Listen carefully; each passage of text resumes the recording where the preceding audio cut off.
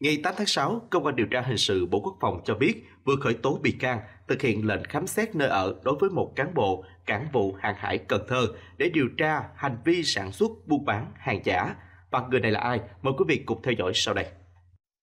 Cơ quan điều tra hình sự Bộ Quốc phòng vừa có quyết định khởi tố bị can thực hiện lệnh khám xét nơi ở đối với bị can Phạm Hồ Hải sinh năm 1969, cán bộ cảng vụ hàng hải Cần Thơ để điều tra hành vi sản xuất buôn bán hàng giả theo các điều 192, 193, 194, 195 và 178 Bộ luật hình sự năm 2015. Việc khám xét nơi ở của bị can Hải vừa được thực hiện với sự chứng kiến của gia đình bị can và chính quyền phường An Khánh, quận Ninh Kiều, thành phố Cần Thơ. Cơ quan điều tra hình sự Bộ Quốc phòng đã thu giữ nhiều tài liệu USB, máy tính sách tay của bị can Hải để phục vụ công tác điều tra. Được biết ông Hải trước khi bị khởi tố là trưởng khu vực cảng vụ hàng hải Duyên Hải, đóng tại thị xã Duyên Hải, tỉnh Trà Vinh.